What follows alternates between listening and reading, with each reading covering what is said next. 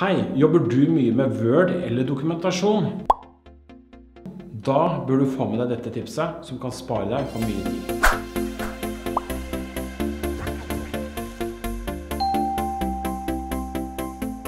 Nå skal du få se en enkel og rask metode til hvordan du kan ta skjermbilder fra f.eks. en nettside og legge den inn i Word-dokumentet som du jobber på.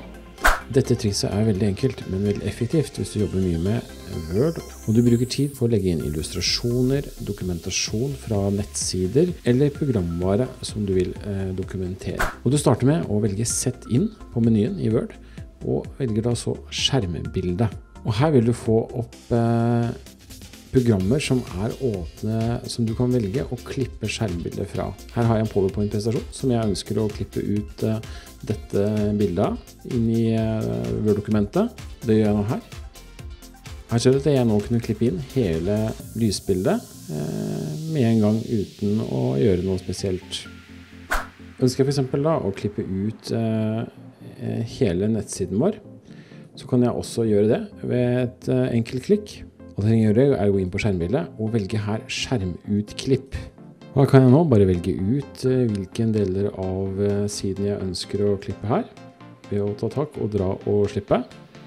Og klipper da hele bildet inn i eh, Word-dokumentet mitt. Som en bonus så fungerer dette også veldig fint i PowerPoint. Her bruker du samme metoden. Her kan du nå velge skjermbilde. Gjerne skjermutklipp hvis du ønsker å klippe ut en egendefinert eh, del av skjermen. Eller da f.eks. nå eh, kjøre Word-applikasjonen rett inn i powerpointen. Som du ser så er mulighetene ganske store, og gjør eh, innsettelse av illustrasjoner mye enklere både i Word og PowerPoint. Det var alt jeg hadde for denne gangen. Takk for at du så tipset. Hvis du vil se flere tips fra oss, abonner gjerne på YouTube-kanalen vår. Vi ses i et annet tips.